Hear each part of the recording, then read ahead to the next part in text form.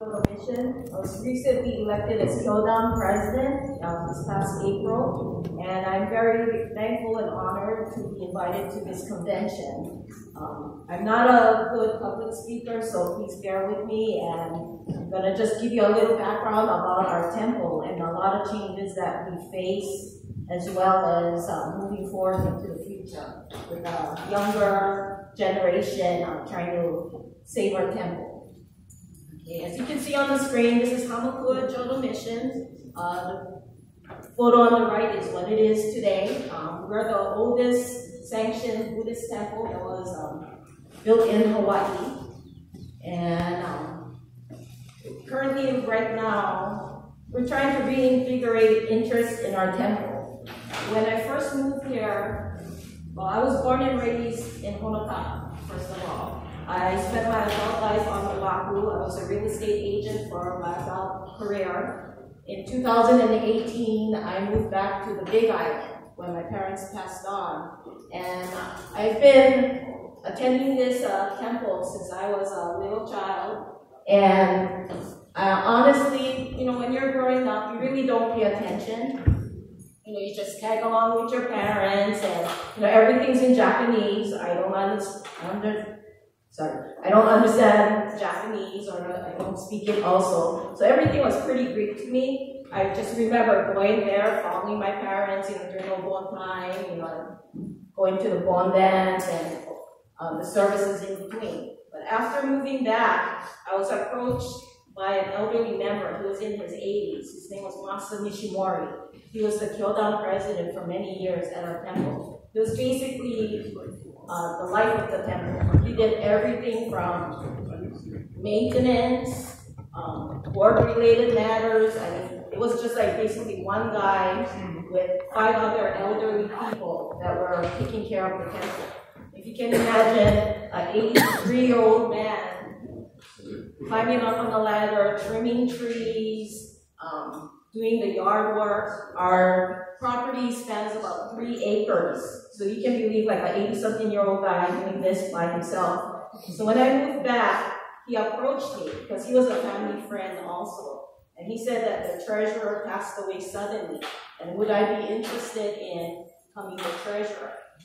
At that time, I admitted to him, I'm, you know, I was raised as a Buddhist, but I don't know a, a lot of things and that I was willing to learn and help him out because um, besides himself, there was five other elderly people. Their average age was 86 years old. They were doing everything, so I made a promise to them that I would help and see what I could do. And taking over that treasurer job, I was quite shocked that a lot of things haven't been modernized. Everything was old school, and you know, back in the old days, everything was like a handshake agreement or, you know, a small group of people helping out. They were ashamed to ask for help. There was no fundraising done in decades. So when I went over the things I acquired as treasure, they gave me a cardboard box of this size. and then I'm like, where's everything else? This temple has been alive for over 100 years. He said, no, this is everything in a box. and in looking at everything, I found out, wow, I have a big job ahead of me. And it has been a journey from that day moving forward.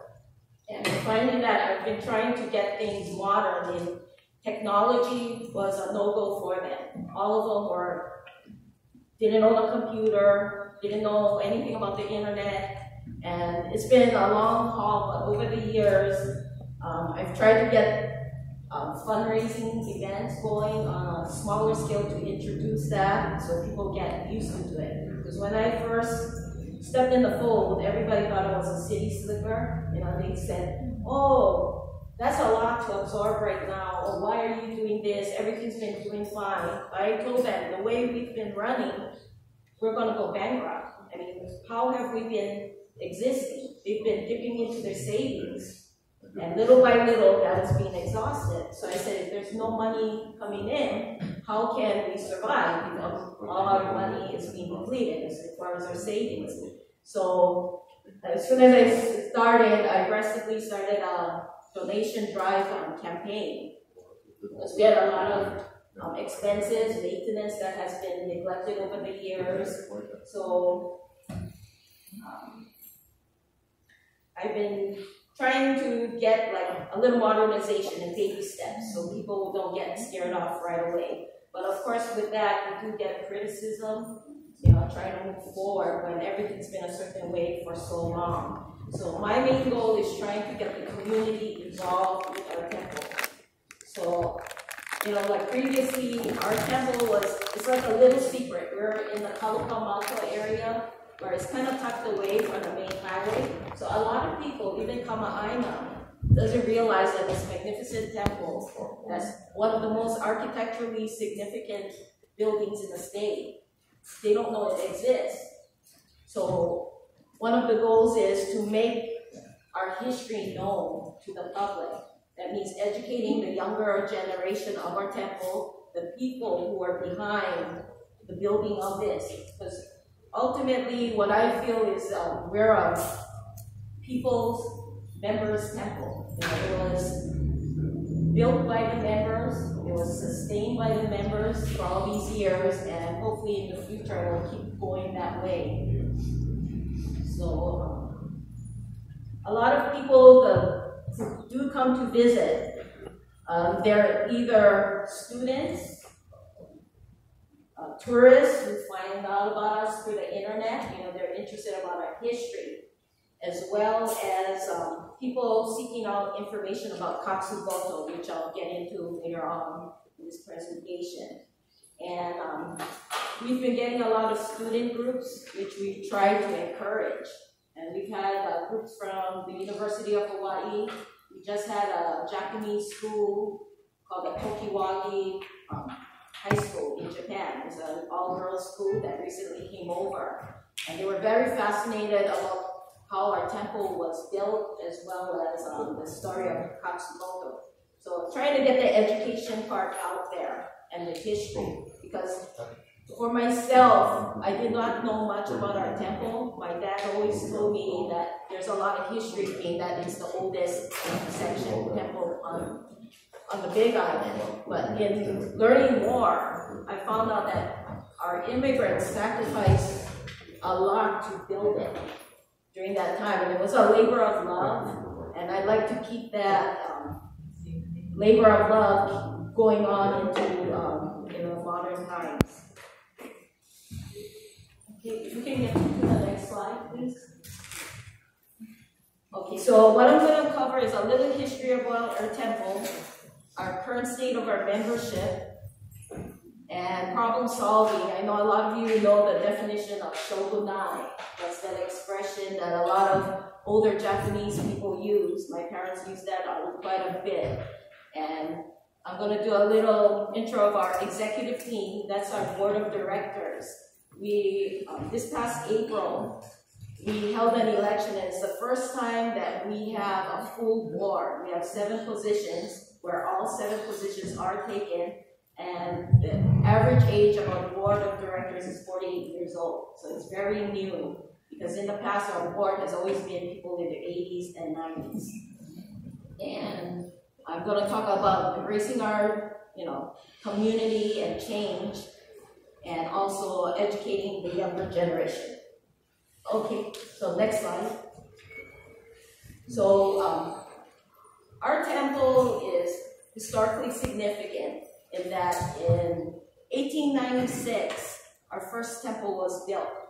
Um, Reverend Gakuo Okabe arrived from Japan in 1894, and he spread the teachings of uh, Buddhism. There was no temple anywhere. So what happened was, um, as he went to house to house and taught the teachings of Buddhism, a lot of the immigrants felt that they should have a temple of worship.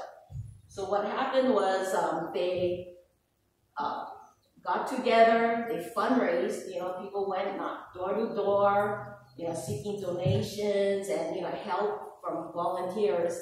And our temple was built in 1896. Today, that temple still stands. It's now used as our dining hall and kitchen. And the cost to build that temple was $3,000. So you can imagine that was big money back then. So, you know, they put in a lot of effort to try and get this um, temple built. Okay, next slide. When I first moved back, our membership, there was only 28 active members. Of the 28 active members, just only six of them, which were elderly people in the 80s and 90s, that were helping as far as volunteering, participating in services, and you know, day by day maintenance. And myself and my boyfriend moved back, so that number became to eight people. you know, it's you know, and we're we're saying, oh, if we could just get somebody to come and help. And Masa, our former president, um, he would say, you know, I sit here on the stairs after my work, and you know, it's so sad that nobody ever comes by because he would be there from like about 7.30 in the morning to like lunchtime where he would go home and you know take a siesta at that time. But um, back when it first started, of course, our membership was up to about 600 people. That was when the active plantation, you know, days were going on. So you can see the dramatic drop off. And I told them we need to get more members and if not members, we need to get volunteers or any human bodies that show an interest to come and help us because, you know, as far as the majority, they're elderly. So what will happen when they pass on? There's only going to be myself and my boyfriend. And um, so we've been trying to get new membership. It's been a slow process, but in 2023, five years later, we're up to 60. And a lot of them are descendants of you know former members that they weren't aware of the struggles of our temple. And um, we, so we got a, quite a lot of new ones, as well as uh, people who are not Buddhist.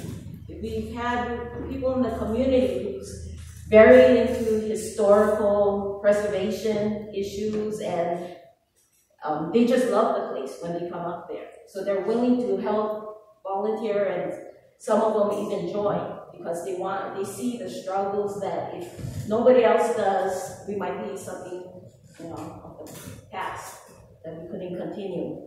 Of the 60 people, we have about 22 active members who come on a regular basis, volunteer with our cemetery cleanups, and um, you know help with the day-by-day -day runnings of our temple. And the Six are honorary members where they don't pay membership. I mean, they're still a member, but they just do not have voting rights when we have um, meetings.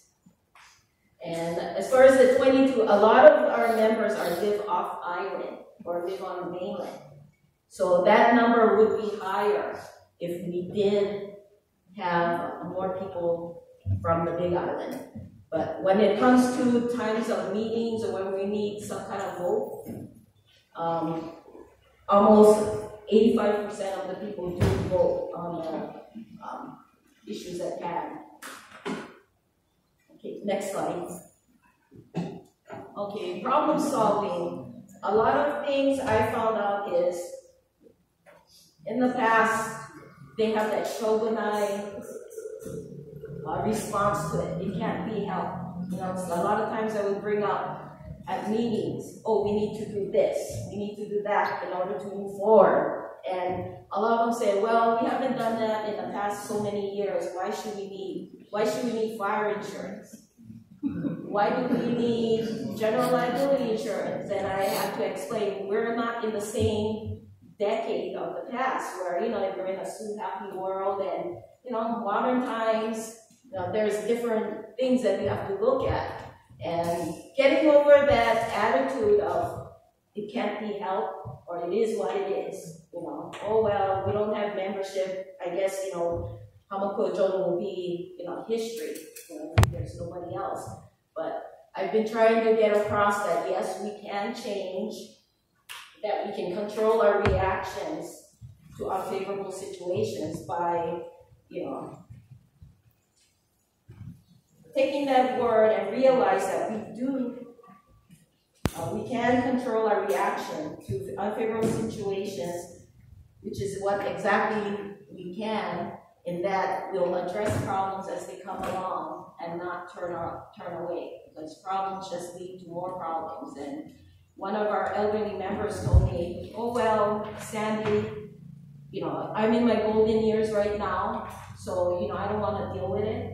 When I'm gone, you guys can address, you know, look at that problem. That they didn't want to get into it. And I don't blame them because once I did get into problem solving, you know, a lot of things take a lot of time, phone calls, administrative work, and um, it's just something you have to just bite your tongue and you just do it. You know, you have to um, have that gambatte attitude where we must pers persevere, speak out against what things are wrong, and that we have the mindset that we will no longer accept things if we know that wrong things can be righted just by simple research and just asking for help. I know there is pride that it's hard to ask for help. And you know, even like on the donation drive, some people were kind of hesitant to ask people for money. I even went out to local businesses and asked them if they could kindly, you know, donate to us and explain our situation.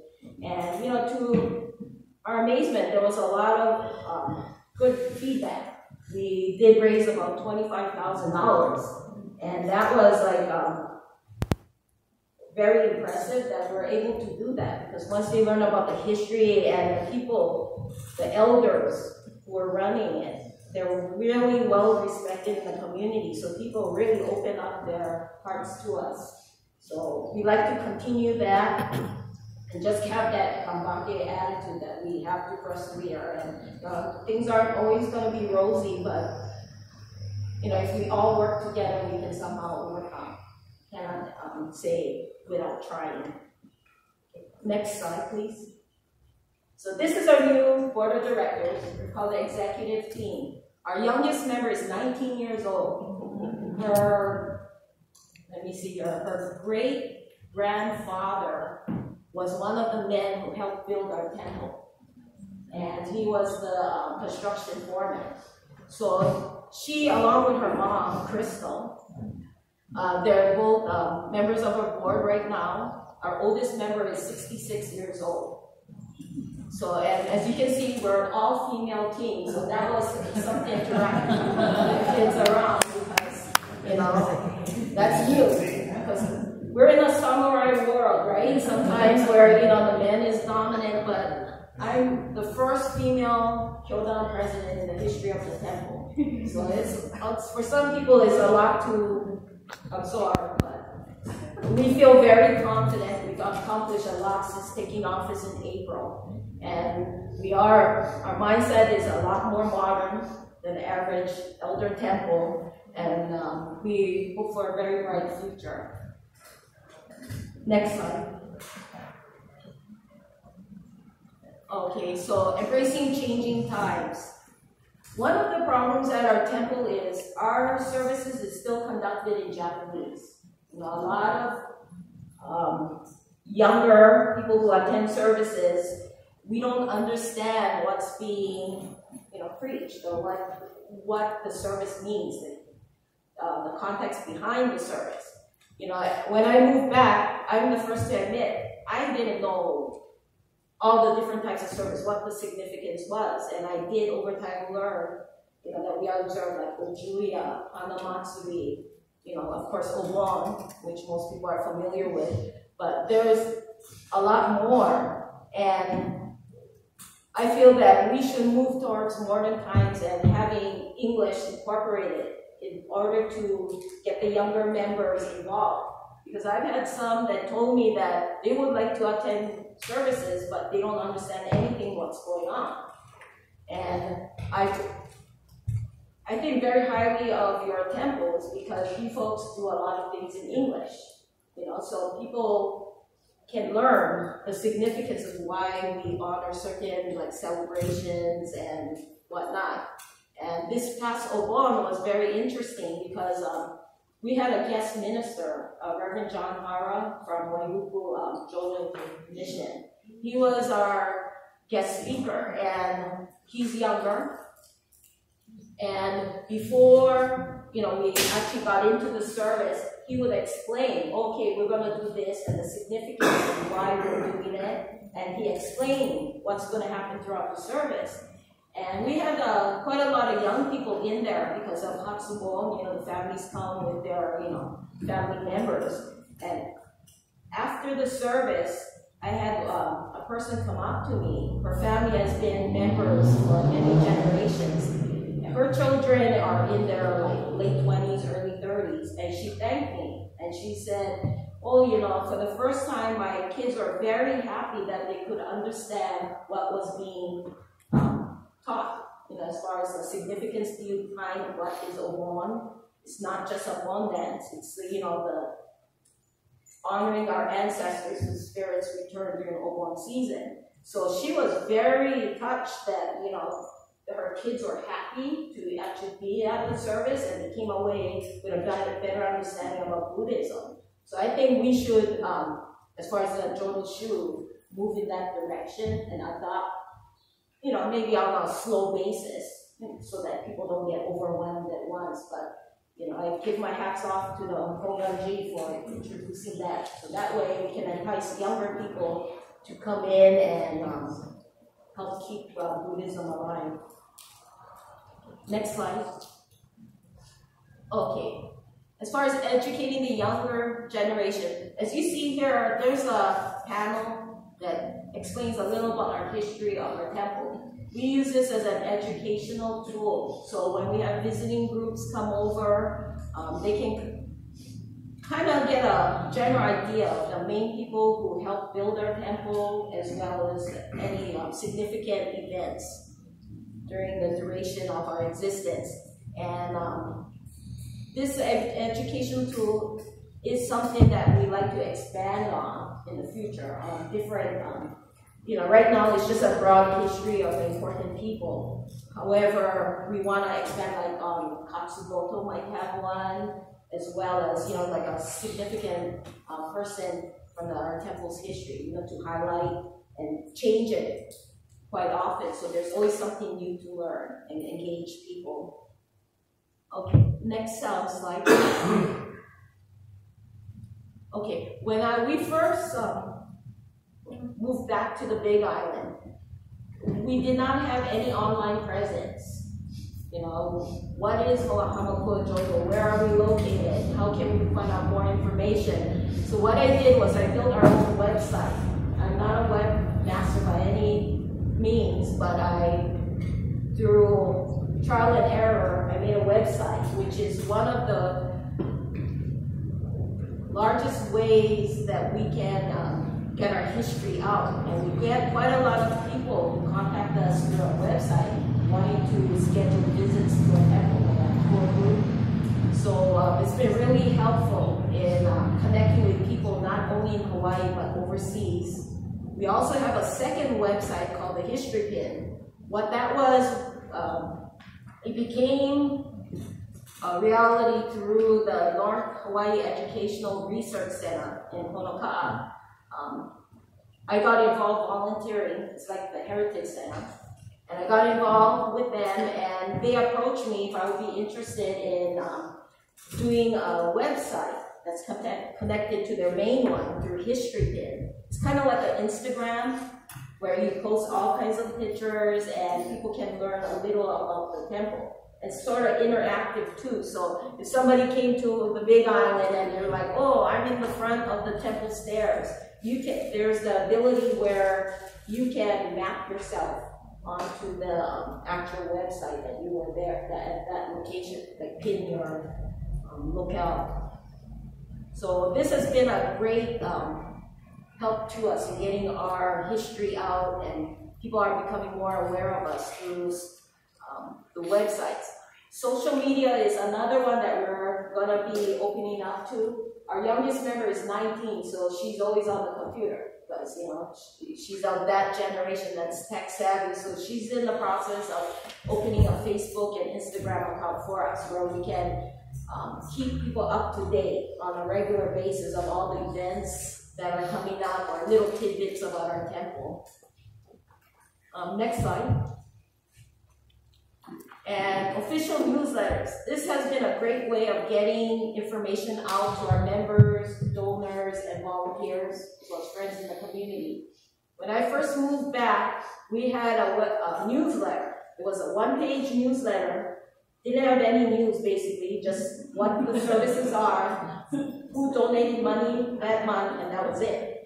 And it was shocking in that a lot of people were not aware of what's going on at our temple.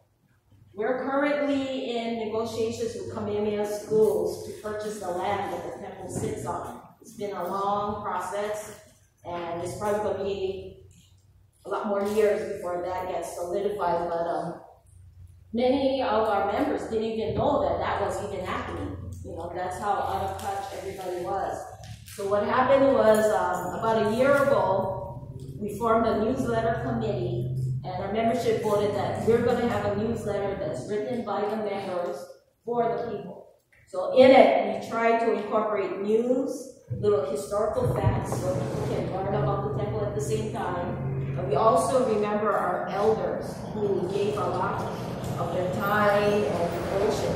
And we feature like flashback photos of the past, as well as feature like volunteer of the month, as well as uh, key members of our temple. Um, next slide. And visitor tours. We do a lot of tours at our temple. And this picture here is a University of Hawaii class who, else, who also ended up um, volunteering about half an hour of their time of um, helping clean up the, um, the grounds, like pick up dead leaves, raking, and whatnot. We also had Kenny Endo and his ensemble contact us wanting to um, come take a visit. So Mr. Endo, his wife, and two other people from his group came over, and we had like a taiko drum tucked away in the back of our temple for many years. So he taught us how to store it and break it. They gave a um, demonstration. So we have a lot of people that come over. We've had Hawaii celebrities as well as students, a lot from Japan. We currently have on the schedule um, Reverend Yoshida, if you, when you have time, if you refer to that um, display board. He was the fourth minister at Hamakua Jodo Mission, and he oversaw the building of our Kompono, our main temple. His great, great, great grandson is coming to Hawaii with his family members next month. There are going to be seven of them from Japan, and they like to you know, come and see the temple as well as learn a little bit more about Hamakua Jodo mission. He mentioned that he, um, his grandfather used to talk about Hamakua Jodo mission a lot, and it's been passed down through generations. So they'd like to come and see what, you know, what this temple is about and, you know, see what their ancestor um, oversaw and built. Next slide. What we incorporated is a cemetery cleanup day. You know, getting volunteers is a really tough thing to do. So what happened was, um, basically Masa, was 83 years old, used to take care of the cemetery by himself. You can imagine an 80-something year old guy with a knapsack of poison, poisoning the cemetery. I mean, every day he would do a little section at a time. And when he passed away, we were like, what are we gonna do? There's nobody retired that can come here on every single day and work on, you know, taking care of the weeds because they grow like crazy. And um, through Akiko Masuda of um, Hakalau, she has a cemetery stewardship. I've been in touch with her since I basically moved back to the Big Island, trying to see if her stewardship could take on Hamakua Jodo. At that time, they had multiple cemeteries they were taking care of.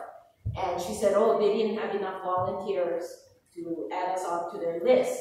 So what happened is, um, through perseverance, kept working her and working, you know, and kept that connection alive. And finally, we had an opportunity to get on their list of uh, cleanups.